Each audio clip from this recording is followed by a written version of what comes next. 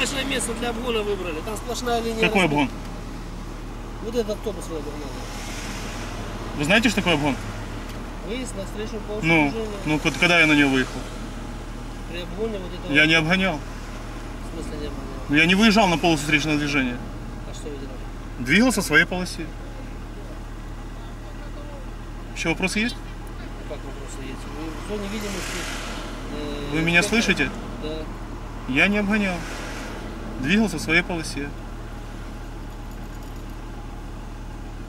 Нормально себя Ну конечно, а вы? Да, я себя прекрасно. Ну вот и все. Я Вы поехал. так утверждаете, что вы не обгоняли. Не обгонял. А есть у вас документы? Конечно. Можно поставить? Нет. Покажите там. Нет. А чего? Нет причины. Нет причины? Как почему нет причины? Ви ж виїхали на слідчу? Доказами по справі є будь-які фак... доказами по справі є будь-які фактичні дані. Ну, конечно. Показы Вот приладів. Для этого останавливается автомобиль, которого вы обгоняли, и берутся пояснения от водителя, который мог что-то видеть или пояснить по данному факту. Это ж является Отбирайте. доказами по справе? Отбирайте. Ну, Будем является- ознакомливаться. Э, Является, что вы говорите доказами по справе? водителя? Ну, смотрите, бывают разные ситуации.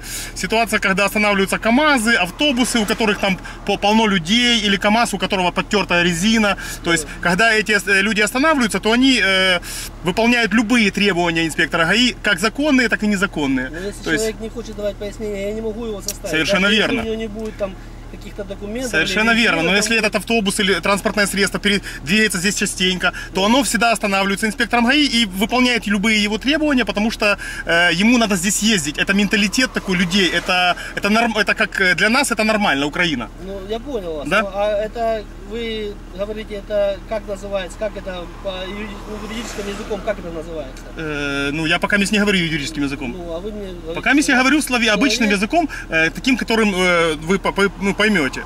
А если вы хотите юридическим языком, то это уже дальше будет по сути дела разбирательства дальше. уже Понятно, там. это вы сможете доказать, что я человека заставил, или он... Э, Ну, вообще-то я это буду доказывать в суде, это не вам доказывать. У вас есть конкретно свои инструкции, по- по- поэтому я не буду вам... инструкции, Совершенно верно. приказы, которыми я руководствуюсь. Сто процентов. Несение службы. Совершенно И верно. там в инструкции написано, я могу остановить транспортное средство, имею право. Конечно. Ко- э, Для опроса людей, которые могли видеть что-то, пояснить. Ну, конечно. Так и?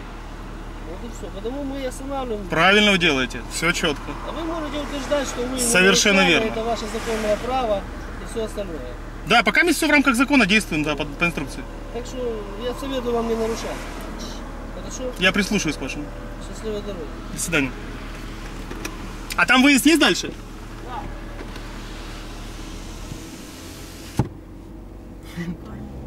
Бо у меня камера как-то стояла.